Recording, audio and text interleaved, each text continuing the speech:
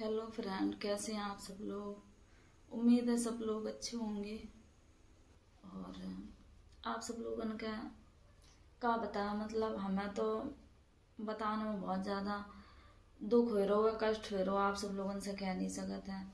जैसे ही हमने शिवानी दीदी की वीडियो देखी और उनके मामा जी मतलब अब हम लोगों के बीच नहीं रहे तो बहुत ज़्यादा दुख बहुत सुन के और उनके मामा जी दिल के बहुत अच्छे थे, उनको स्वभाव बहुत अच्छा हुआ। तो हम भी गए थे एक बार उनके घर पे शिवानी दीदी के बर्थडे में तो हम उनसे मिले थे।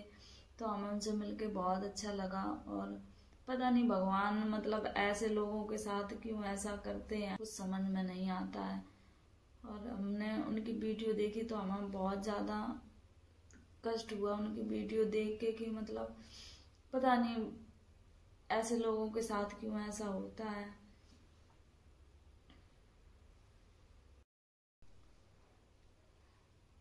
गैस मेरा फ़ोन चार्ज नहीं है तो तो हमने फ़ोन ऑन मतलब ज़्यादा चलाओ नहीं, काम वाम करके अब आए थे तो अब जैसे ही हमने फ़ोन अपना चार्ज करो, देखो तो तुरंत मेरे में अपडेट आओ, एकदम से जैसे ही फ़ोन देखो और हम बाहर बैठे थे, हम सब लोगों ने देखो तो हम लोगों के सबका मतलब इतना बुरा लगा। मेरा तो फ़ोन देख रहे थे, मेरे तो हाथ इतनी तेज़ काँप रहे थे जैसे हम वीडियो देख रहे थे।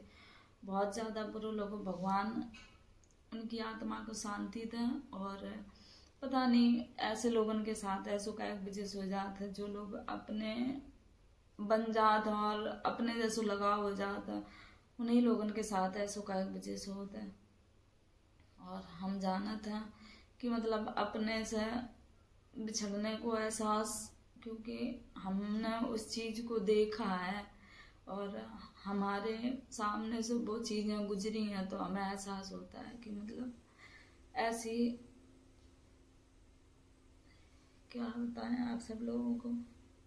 यही कहना चाह रहे हैं कि भगवान की आत्मा को शांति दे?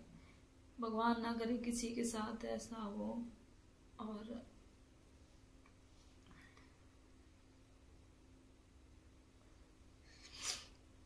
ज़्यादा कुछ नहीं। बहुत अच्छा उनका स्वभाव था और शिवानी दीदी की वीडियो में आते थे, बहुत अच्छा लगता था।